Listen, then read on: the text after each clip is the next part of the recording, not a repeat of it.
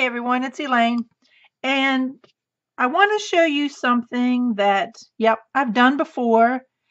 But I thought with Christmas coming, it might be something too that you could do. Now these are samples of granite that I get at work. But look at this. This one, oh, that's my hand, is a pretty good size. So what I do is I just go and pick up some um I guess these are like a steak knife because they're a serrated edge. You could probably just get a regular butter knife. And I believe I even got these at Walmart. Now the little cleavers I did order, I believe it was on Amazon. But I just take a simple knife and you could do this with like if you saw a a cute or fancy little cutting board somewhere, you could do a fancy knife to go with it. And, you know, I've done them, but I'm going to tell you how I did them. It's really quite simple. I've got a loose piece of wire here and, and I'll just give you a quick demo. The one thing about it is, is that the um the beads that you use, I suggest you use flat ones. Now I have seen, you know, big old round beads used on on these, but they feel so much better in your hand um, if the beads are flat, I think.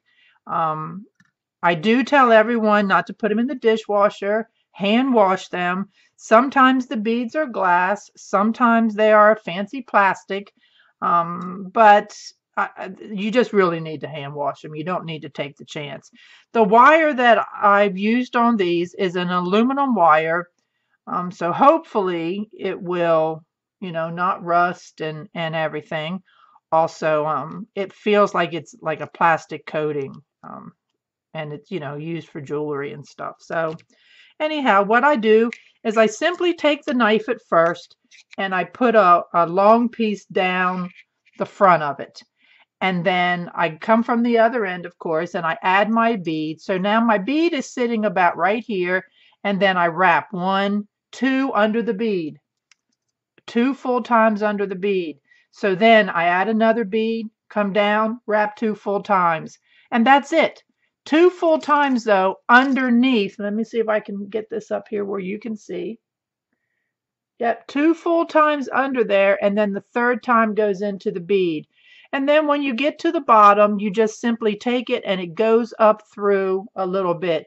Sometimes you have to play with that a little and kind of loosen the one above. Um, but that's it. It's, it's really simple.